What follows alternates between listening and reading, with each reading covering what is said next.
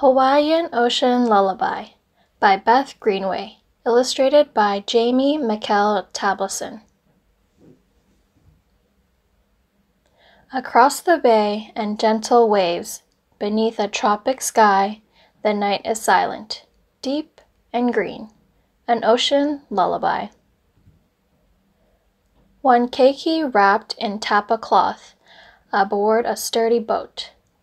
Warm breezes brush the scented air and hush the world afloat. Two baby boxfish dart about the reef, then hide from view. Three manta flutter, dip and turn as moonbeams trickle through. Four hammerheads have eyes closed. They sleep with secret grin. Five dolphins softly splashing along, a twist of tail and fin. Six jellyfish relax and roll, ashore in sudsy brine.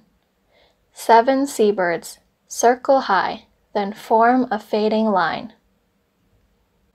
Eight humpback whales are heading out, each leap in soundless breach.